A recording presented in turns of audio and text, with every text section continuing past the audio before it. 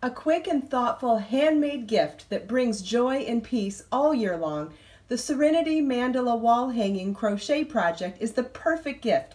Make one for yourself and anyone on your list. You could also use this mandala motif for Afghan shawls or a wrap. I would love to wrap myself in this gorgeous motif. Hi, I'm Kristin Omdahl and welcome back to my studio. In this series of videos, I'm going to show you how to make these beautiful wall hangings. Surprisingly enough, they each take the same amount of yarn. The one on the top uses a sampler kit of eight colors of Be So Serene yarn, and the one on the bottom takes one solid hank of Be So Serene yarn. If you follow the link in the video description, you can get a list of all the materials you'll need, as well as download the free pattern plus chart in this series of videos, I will be showing you how to read the chart as well as how to crochet the stitches in the chart and then how to join them to the metal ring. Let's get started.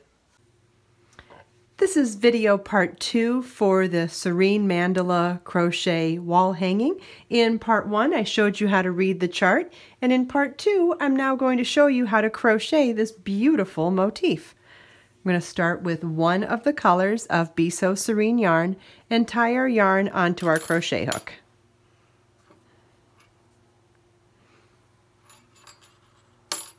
You can tie your yarn any way you like. I prefer a solid knot. A solid knot. If you prefer a slip knot, that's perfectly fine as well. And we're going to start with a chain six.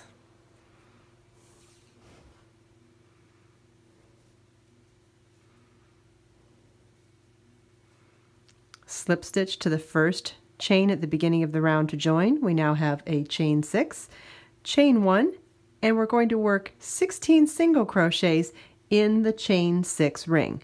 Insert your hook into the ring, yarn over, pull up a loop, yarn over, pull through two. Our first single crochet is made.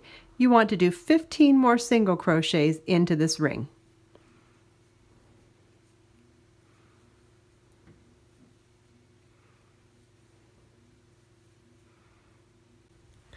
16 single crochets is kind of snug for a chain six space, so don't feel worried about having to slide your stitches over to make room. That's perfectly okay.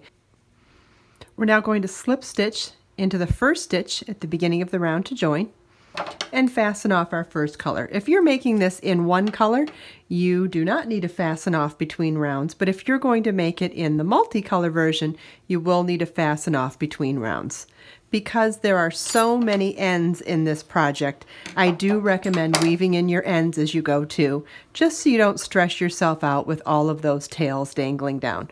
So I'm going to go to the back side of my work with my yarn needle and just weave those tails in as I go. You want to make sure that you weave your tail in in multiple directions. It helps to ensure that the ends will not come out. We'll turn back to the front side of our work and we have round one complete with 16 single crochets. I'm now going to grab a second color of yarn.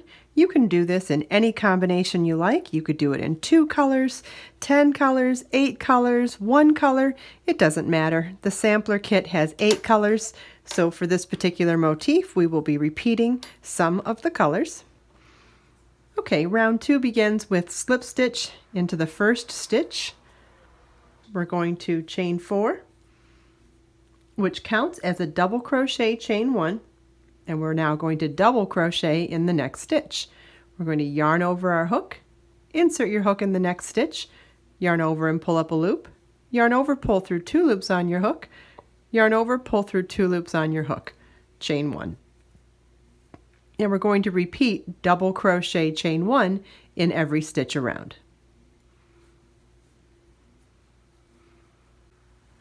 Okay, we've come now to the beginning of our round. And you want to slip stitch to the top of the third chain at the beginning of the round to join. Remember it was a chain four which counted as a double crochet chain one. So the third chain would be the equivalent of the top of the double crochet. So that's why we slip stitch into that stitch to join. You're going to cut your yarn, fasten off, and now just to keep things nice and tidy, I am going to weave in my tails before we go on to round three. For round three, we want to begin in the top of a double crochet. So we're going to slip stitch to join, chain one and single crochet in the same stitch, chain three, and single crochet into the top of the next double crochet. The repeat is to chain three and single crochet in the next double crochet. And we're going to repeat that all the way around.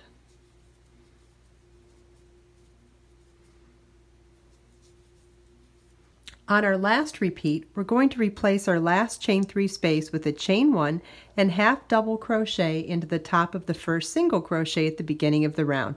Half double crochet is yarn over your hook, insert your hook into the specified stitch, yarn over, pull up a loop, yarn over, pull through all three loops on your hook. We're going to fasten off only because we're changing color at the end of every round and I'm going to weave in my ends before we begin the next round. The next round begins with joining our yarn into any chain 3 space with a slip stitch, chain 1, and single crochet in the same space. Chain 9,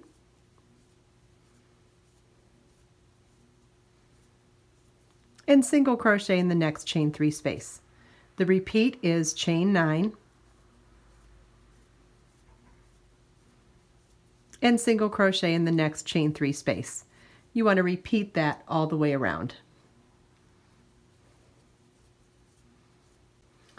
On our last repeat, we're going to replace the last chain 9 space with a chain 4 and work a double treble stitch into the first single crochet at the beginning of the round. A double treble is yarn over three times, insert your hook into the specified stitch, yarn over, pull up a loop, yarn over, pull through two loops on your hook, yarn over, pull through two loops on your hook, yarn over, pull through two loops on your hook, and yarn over, pull through two loops on your hook. We're going to fasten off. And I'll weave in my tails before we begin the next round. To begin round five, we're going to slip stitch into any of the chain nine spaces to join. Chain three which counts as our first double crochet we're going to work three more double crochets into that same chain nine space.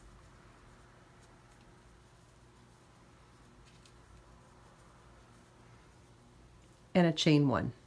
In the next chain nine space we're going to work four double crochets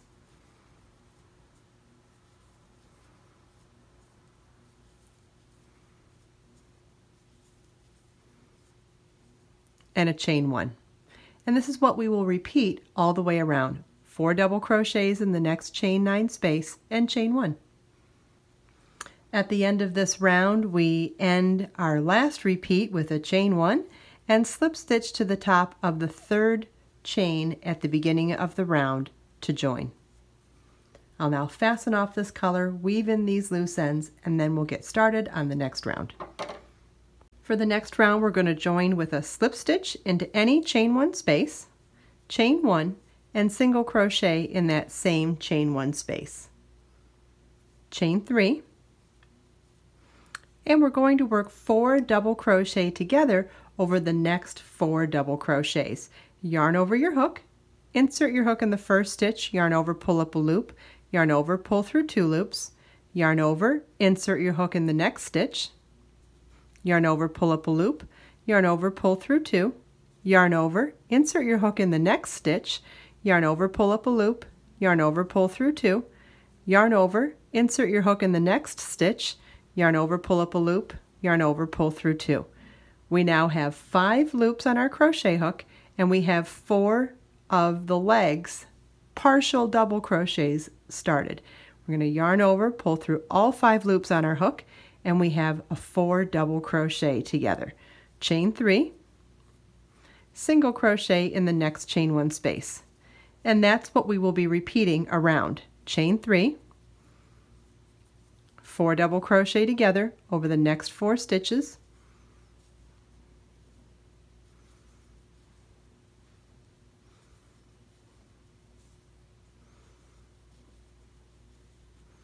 chain three, and single crochet in the next chain one space. You want to repeat that all the way around. I'm at the end of my last repeat. I finished my last chain three space and I'm going to slip stitch to the first single crochet at the beginning of the round to join, fasten off, weave in my loose ends, and then we'll get ready to start the next round. For round seven, we're going to join with a slip stitch into any chain three space, chain one, and single crochet in the same space. Chain five, single crochet in the next chain three space, chain five, single crochet in the next chain three space, chain five, single crochet in the next chain three space, and that's what we're going to be repeating all the way around. We've worked around and on the last repeat we're going to replace the last chain 5 space with a chain 2 and a double crochet in the top of the single crochet at the beginning of the round. The chain 2 double crochet is the equivalent of a chain 5 space but positions us in the top center to work the next round. That would be applicable if you're doing this in one color, but because we're doing it in multiple colors, we're still going to fasten off at the end of every round to change color. I'm going to weave in my loose ends and then show you the next round. We're going to join our yarn in any chain 5 space with a slip stitch, chain 1 and single crochet in the same space. In the next chain 5 space we're going to work 9 double crochets.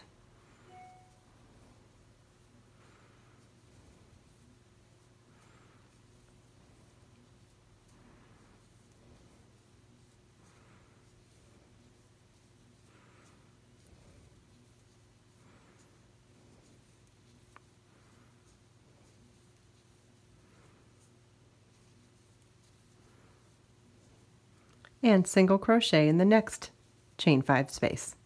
And this is what we will repeat all the way around.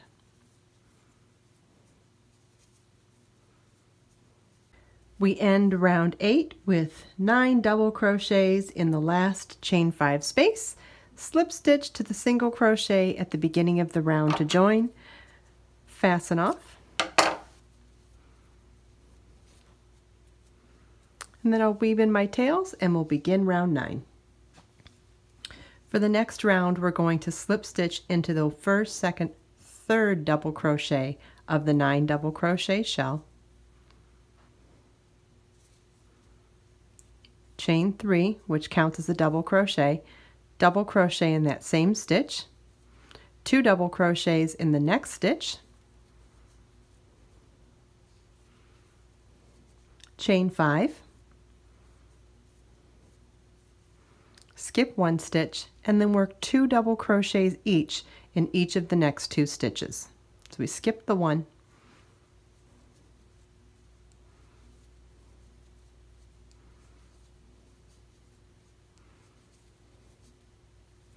Okay, so of that nine double crochet shell, we skip two stitches, chain three double crochet in the third, two double crochets in the fourth, chain five, skip the fifth, two double crochets in the sixth, two double crochets in the seventh, chain one, and skip the eighth and ninth. We're also going to skip the single crochet and the next two double crochets on the next shell. So we're skipping five stitches with that chain one, and then the repeat is two double crochets in each of the next two stitches, chain five, skip the next stitch, two double crochets each in the next two stitches,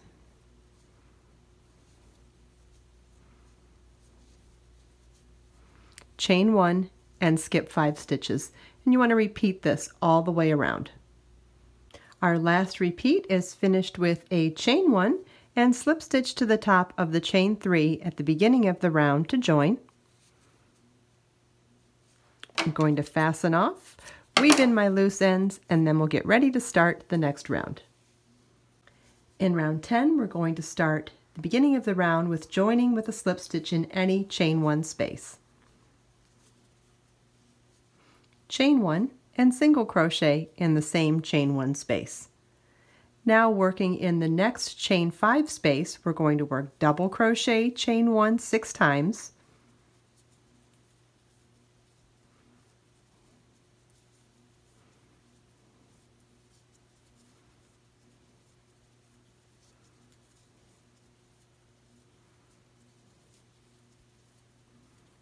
and one more double crochet in that same chain 5 space. So it's a total of 7 double crochets with a chain 1 in between each of them. So it's double crochet chain 1 times 6 and then double crochet again. Then we single crochet in the next chain 1 space and that's our repeat. You want to repeat this all the way around. We're going to finish the 10th round by slip stitching to the first single crochet at the beginning of the round to join. There is one more round to this motif. Make sure you come back for part three of the Serene Mandala wall hanging video series. In the third and final video, I'll be showing you how to crochet the final round of this motif and we're going to crochet it onto the metal ring as we go. Download the free pattern and chart at the link provided in the video description. And please subscribe to my channel for more videos.